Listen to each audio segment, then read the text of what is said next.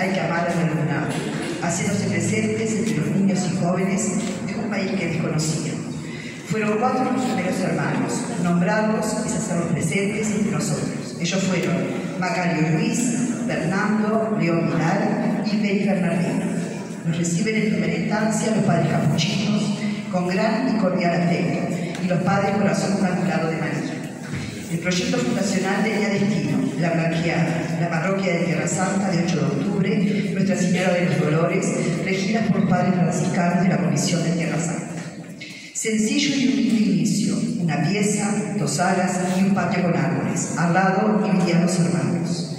El excelentísimo reverendo Monseñor Francisco Aragone bendice la presencia de los maristas a través de estas palabras.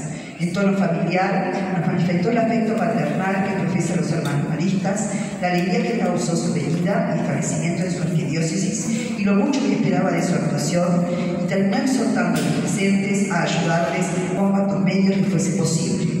La sociedad montevideana empieza a conocer a los hermanos a través de los impresos que se distribuyen con la siguiente propuesta.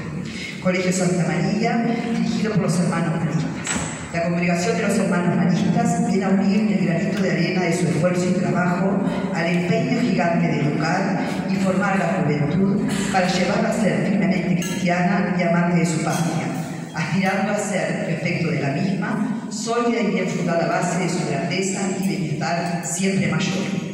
Fieles a las enseñanzas de nuestro fundador, el venerable Marcelino Champagnat, y basándonos en una experiencia ya singular, aspiramos a merecer esta noble y hospitalaria la misma confianza y aprobación con que nos hemos visto honrados doquier se haya establecida nuestra congregación.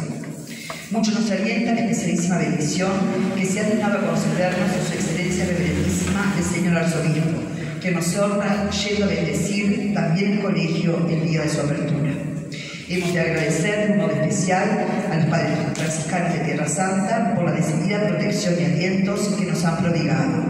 Con la vista fija en estos nobilísimos ideales y poderosos estímulos, iniciaremos nuestra obra en esta ciudad abriendo un colegio en la calle Estero Bellaco 2717, adjunto a la parroquia Nuestra Señora de los Dolores, regenteada por los hermanos franciscanos de Tierra Santa. Nuestra historia está en marcha. Los hermanos van a conocer sus anhelos. Aspiramos a formar hombres de Dios y de la patria, hombres que sean el honor y de sus familias. Y lograremos, uno y otro, por una sólida formación cristiana de los niños, basados en un sistema pedagógico que puede condensarse en estas palabras. Dulzura, sencillez y fortaleza. En marzo de 1934 se recibieron los primeros alumnos, 15 en la mañana y fueron 19 en la tarde.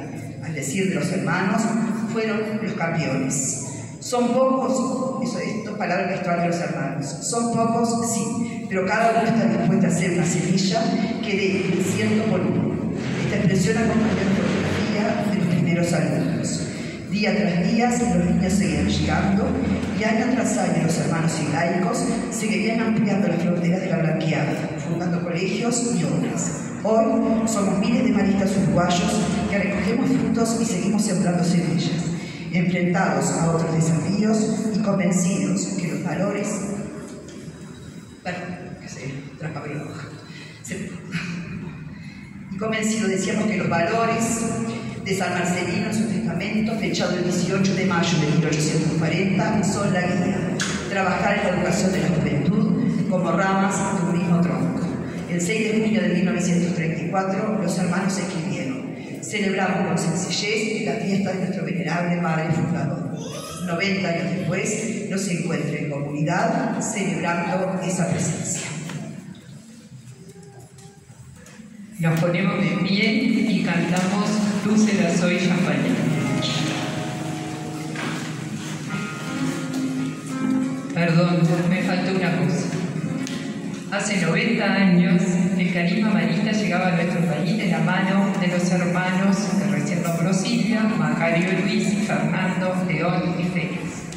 En este día, la imagen de San Marcelino Champañán nos llega de la mano del hermano Juan y del hermano Alberto. Los hermanos van a acercar la imagen al altar que ha sido revestido por los niños y niñas de primaria en la celebración de esta tarde temprana. Nos ponemos de pie y cantamos Tú serás hoy Champañán. Tú serás hoy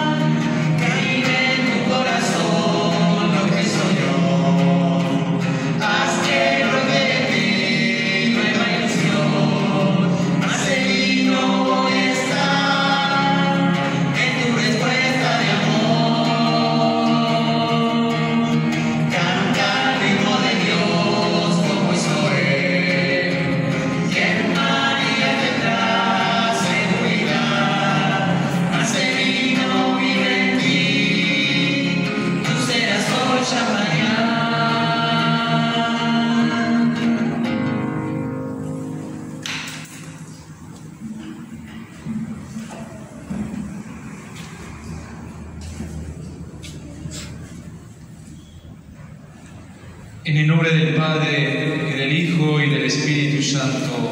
Amén. La gracia de nuestro Señor Jesucristo, el amor del Padre y la comunión del Espíritu Santo esté con todos ustedes. Y. Feliz día para todos en esta Eucaristía. Que damos gracias a Dios por la vida de un hombre, de un santo que se ha fiado de Dios y gracias a esa confianza en Dios ha comenzado una obra inmensa que hasta hoy pervive en el tiempo.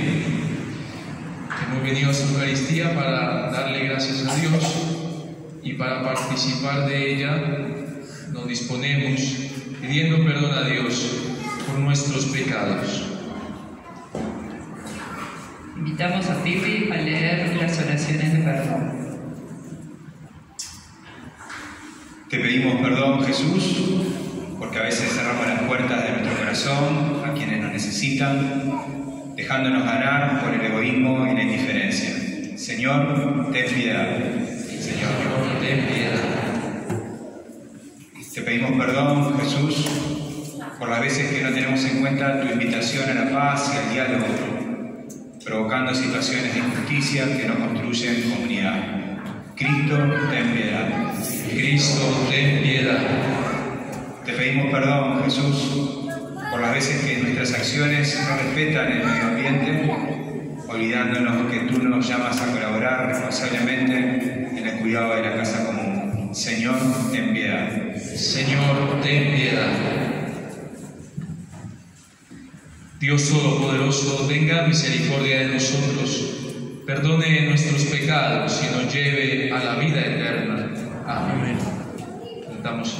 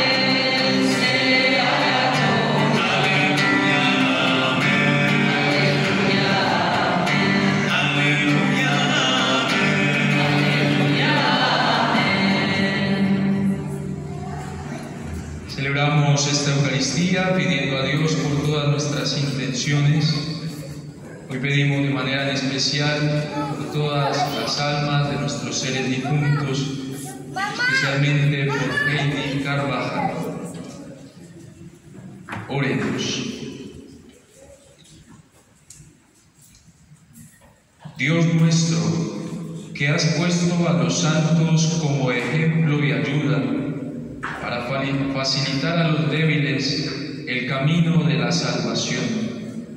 Al celebrar la fiesta de San Marcelino, concédenos bondadosamente que siguiendo sus pasos, caminemos hacia ti. Por nuestro Señor Jesucristo, tu Hijo, que vive y reina contigo en la unidad del Espíritu Santo y es Dios, por los siglos de los siglos. Amén.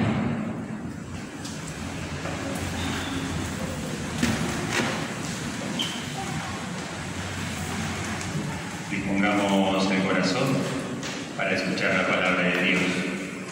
Invitamos a Cecilia a leer la primera lectura.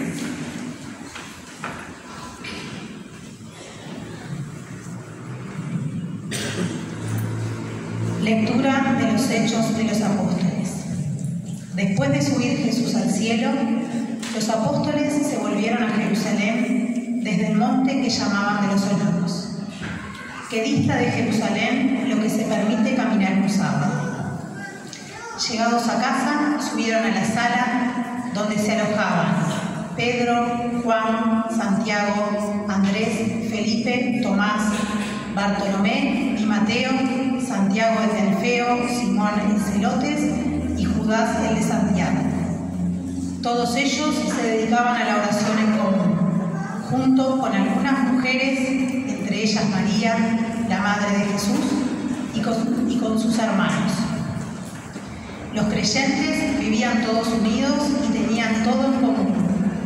Vendían posesiones y bienes y lo repartían entre todos, según la necesidad de cada uno. Diario acudían al templo todos unidos, celebraban la fracción del pan en las casas y comían juntos, alabando a Dios con alegría y de todo corazón. Eran bien vistos por todo el pueblo y día tras día el Señor iba agregando al grupo los que se iban salvando. Palabra de Dios. En respuesta a la palabra de Dios, entonamos el Salmo, concluye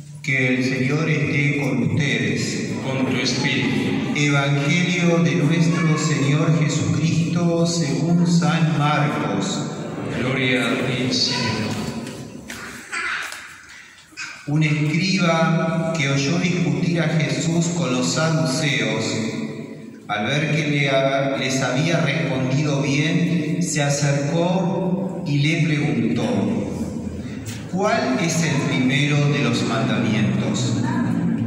Jesús respondió, el primero es, escucha Israel, el Señor nuestro Dios es el único Señor, y tú amarás al Señor tu Dios con todo tu corazón y con toda tu alma con todo tu espíritu y con todas tus fuerzas.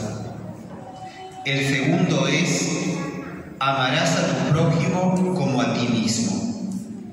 No hay otro mandamiento más grande que estos. El escriba le dijo, muy bien maestro, tienes razón al decir que hay un solo Dios y no hay otro más que Él. Amarlo con todo el corazón, con toda la inteligencia y con todas las fuerzas y amar al prójimo como a sí mismo vale más que todos los holocaustos y todos los sacrificios.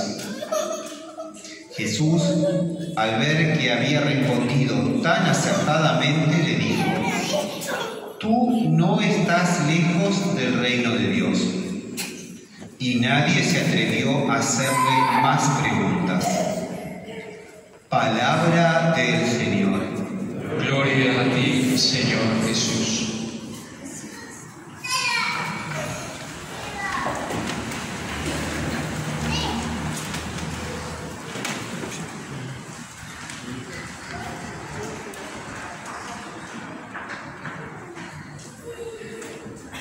Nos hemos reunido esta tarde en esta Eucaristía para celebrar, para agradecer lo que Dios en su providencia ha unido hace ya más de 90 años. Dios es el alfarero, Dios es el que teje los hilos de la historia de la humanidad y lo hace a través de acontecimientos concretos. Permite también el encuentro de culturas, de personas, con un solo propósito y es justamente que el hombre se pueda unir a Dios como el único Señor. Por eso tiene sentido esta Eucaristía. Una persona que nació en Francia y que a partir de su vida se hizo tantas obras en, tan- en tantos países del mundo, nosotros hoy lo celebremos. Es Dios el alfarero, el que ha permitido esa historia. Por eso lo que celebramos hoy en esta Eucaristía es una historia de fe. Es Dios quien ha tomado la iniciativa para que tú y yo compartiéramos esta Eucaristía. No solamente fuimos convocados por aquellos que integran eh, todo el colegio y la familia marista, sino que ha sido Dios quien nos ha llamado. Y Dios cuando llama a, su encuentro siempre lo hace con un motivo. Primero, renovar nuestro espíritu también que no nos olvidemos de nuestras raíces, porque hemos salido de Dios y hacia Dios nos encaminamos. Por eso tiene sentido esta Eucaristía, estamos en un ámbito de fe. Cuando la Iglesia celebra una Eucaristía, siempre tiene una intención especial. Hay Eucaristías que celebramos por los difuntos, por los enfermos, por diferentes necesidades, pero hoy la intención que nos une es dar gracias a Dios por la vida de Marcelino. Dar gracias a Dios porque por su vida muchos han podido conocer a Dios. Y también hay una intención especial que le pedimos a Dios que esa obra que Él comenzó pueda perdurar en el tiempo. Y la Eucaristía, como acción de gracias por todo lo que muchos de ustedes vivieron o viven con la familia de los hermanos maristas, las anécdotas, la historia, todo lo que se vive. Cuando celebramos la vida de un santo, siempre nos vienen a la mente sus gestos, sus palabras, su manera de vivir, su manera de hacer las cosas, su manera de actuar. Entonces, si nosotros celebramos con esa intención, es porque le pedimos a Dios que por intercesión de San Marcelino su obra continúe. Y para que una edificación, una familia, una institución pueda permanecer en el tiempo, tiene que tener unas bases sólidas, fuertes, sanas, porque si no tiende a derrumbarse. ¿Y cuáles son las bases en las que construyó Marcelino esta gran familia? La fe, la vida cristiana y la educación. La fe, la vida cristiana y la educación. Seguramente ustedes conocen más la historia que yo de Marcelino, pero yo, desde que llegué a la parroquia, por la interacción que se da con los hermanos y con el colegio, escudriñé un poco su vida y me llamaba la atención eh, algunos rasgos de la vida de Marcelino. Primero, que no le tocó fácil. Se tuvo que enfrentar con diferentes dificultades de, de su Francia natal, que vivía una profunda crisis social, política, que nació en una familia humilde, que tuvo que vivir la precariedad, de no tener muchas cosas que a lo mejor él quería, que cuando tomó la decisión de aceptar el llamado de Dios, sufrió la persecución del anticlericalismo, es decir, de ser rechazado por ser cura. Y más adelante con su vida cristiana, el odio a la fe en plena revolución francesa. Es decir, todo aquel que se declare católico, cristiano, seguidor de Jesús, es mal visto, es ignorado, rechazado. Y finalmente Marcelino que experimenta en su propia carne la pasión de Jesús con la enfermedad, muriendo muy joven. ¿Y qué se puede sacar de una persona que vivió así? ¿Qué podría ser alguien, por ejemplo, que es pobre? Si hoy también el pobre, si lo trasladásemos al mundo de hoy, sería mal visto. Nadie quiere ser pobre. Porque estamos llamados y se nos acostumbra que tenemos que tener, porque si tú tienes, eres rico y eres importante. Ser humilde, es decir, ser el último de todos. ¿Quién quiere ser el último? En el trabajo, en la familia, en la sociedad. ¿Quién quiere ser humilde? Es un gran desafío. Ser cristiano, católico. No, sé si lo digo, me da vergüenza que sepan que lo soy ante la persecución que se nos presenta. Y finalmente, el hecho de vivir y experimentar también el sufrimiento o la enfermedad. Nadie quiere sufrir, y mucho menos pasar por la enfermedad. Entonces, el hecho de celebrar la vida de un santo es justamente ver en él reflejado a Jesucristo, que aceptó su propia vida y la vivió como Jesús la vivió. Jesús fue pobre, Jesús fue humilde, a Jesús lo rechazaron hasta que murió en la cruz, pero resucitó. Entonces la vida de Marcelino, su reflejo, nos enseña hoy cómo volver a tener presente las raíces cristianas.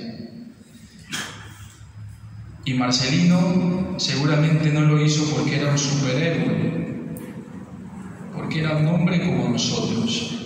Sin embargo, el Evangelio de hoy daba la clave para poder vivir y ser santos, amar a Dios sobre todas las cosas, colocarlo en el primer lugar, como le decía Jesús a este escriba, este es el mandamiento más grande, amar a Dios y al prójimo como a sí mismo. Es decir, en la medida que pongamos a Dios en el centro, en nuestras familias, en la institución educativa, en nuestros trabajos, que Él sea el centro, perdura en el tiempo lo que Marcelino ha querido. Hay un salmo que está en la escritura que dice Dios concede las gracias más grandes a los humildes. Como le relataba un poco su historia, ¿qué podría salir de allí? Y sin embargo salió muchísimo. Y ustedes son más testigos de aquello que comenzó un hombre allí en Francia. Hoy nosotros en esta Eucaristía vamos a hacer lo que se llama la entronización. ¿Qué quiere decir eso? Colocar en el centro, darle un lugar a un santo que muchos tienen devoción. Como decía la historia, el colegio nació aquí y merece un lugar, porque yo soy testigo de que muchos feligreses trabajaron allí, fueron allí y tienen sus hijos estudiando allí. Darle un lugar no solamente en el templo, sino también en nuestro corazón. Todos tenemos un lugar en la iglesia, todos nosotros. Pero los santos tienen un lugar especial, porque nos invitan a rezarle, ser devotos. Así que cuando entren al templo, y vean a Marcelino, pídanle las gracias y las intenciones que más necesitan. Y nosotros tenemos una particularidad que no solamente vamos a tener la imagen, sino también una reliquia de San Marcelino, que fue donada por un feligrés de la parroquia con mucho amor. Así que con esta alegría de celebrar un santo, le pedimos a Dios también que a nosotros nos ayude a renovar este espíritu, a no olvidarnos de nuestras raíces cristianas y como decía Marcelino, buenos cristianos, honrados ciudadanos.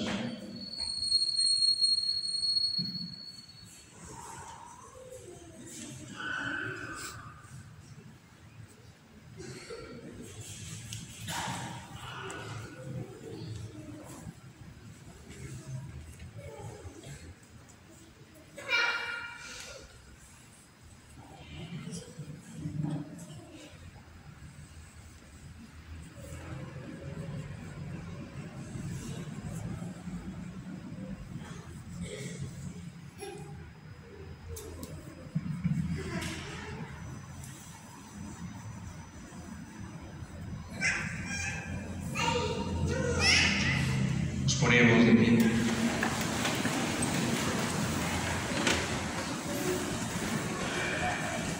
Invitamos a Mariana a leer las oraciones mundiales. A cada intención vamos a responder, Jesús escucha nuestra oración. Jesús escucha nuestra oración. Te damos gracias, Jesús, por la Iglesia. Concédenos que como María vivamos fieles a Dios, atentos a cumplir su voluntad llevar a todos el mensaje de Jesús. Oremos, Jesús, escucha nuestra oración. Te damos gracias, Jesús, porque envías tu espíritu de sabiduría y entendimiento. Haz que nunca les falte a nuestros gobernantes y busquen el bien común para todos. Oremos, Jesús, escucha nuestra oración. Te damos gracias, Jesús, por los 90 años de la presencia marista en Uruguay. Ayúdanos a estar siempre atentos a las necesidades de nuestros niños, niñas, adolescentes y jóvenes. Que ellos sean siempre el centro de toda nuestra misión. Oremos, Jesús, Jesús escucha nuestra oración. Atiende, Padre Santo, todas nuestras súplicas, las que tenemos en nuestro corazón. Danos todo aquello que más necesitamos que se cumpla así es según tu voluntad. Todo esto te lo pedimos por Jesucristo nuestro Señor. Amén. Gracias.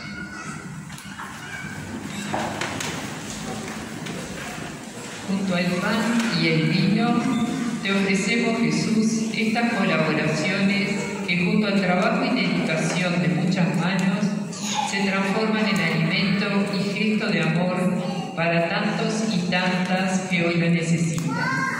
Invitamos a Abril y a Pedro a acercarlas al altar. Acompañamos el gesto cantando coplas de Yarabí.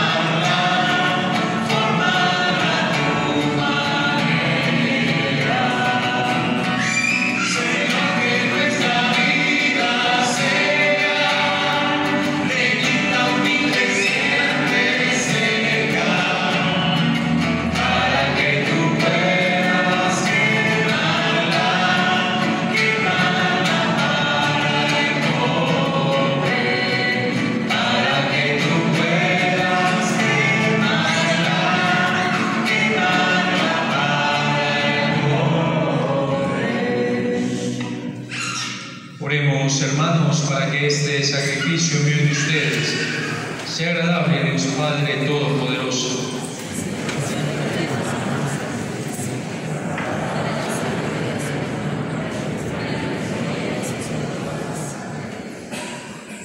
Te pedimos, Señor, que por esta ofrenda presentada en la conmemoración de San Marcelino, nos concedas los dones de la unidad y de la paz. Por Jesucristo nuestro Señor.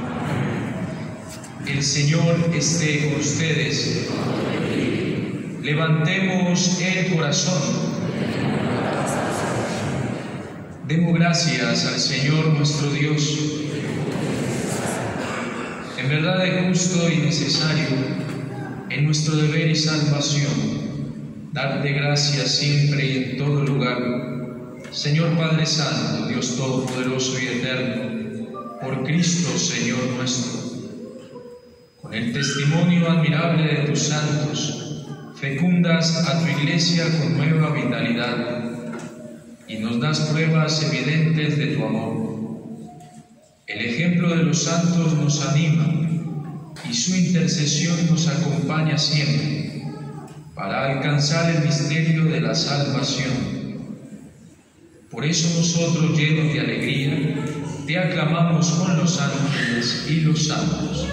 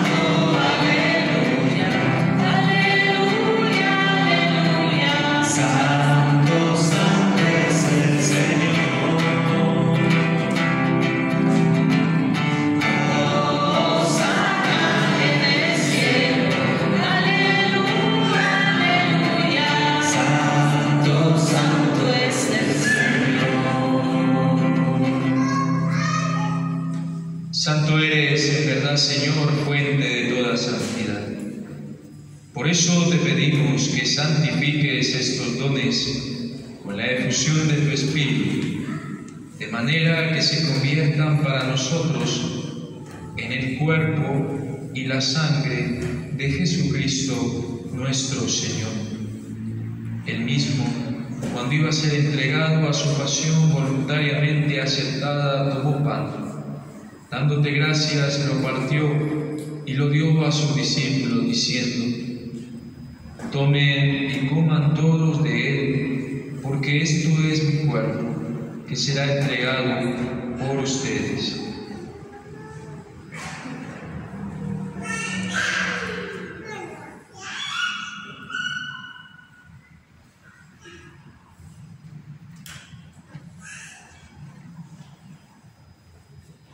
Del mismo modo, acabada la cena, tomó el cáliz y dándote gracias de nuevo, lo pasó a sus discípulos diciendo, tomen y beban todos de él, porque este es el cáliz de mi sangre, sangre de la alianza nueva y eterna, que será derramada por ustedes y por muchos, para el perdón de los pecados. Hagan esto en conmemoración mía.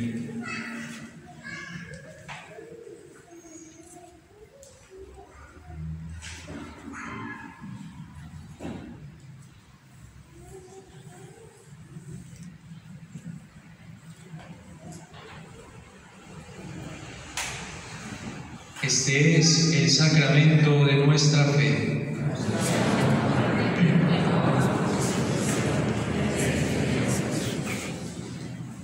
Así, Padre, al celebrar ahora el memorial de la muerte y resurrección de tu Hijo, te ofrecemos el pan de vida y el cáliz de salvación. Y te damos gracias porque nos haces dignos de servirte en tu presencia. Te pedimos humildemente que el Espíritu Santo congregue la unidad a cuantos participamos del cuerpo y la sangre de Cristo. Acuérdate, Señor, de tu iglesia extendida por toda la tierra, y con el Papa Francisco, con nuestro obispo Daniel y todos los pastores que cuidan de tu pueblo, llévala a su perfección por la caridad.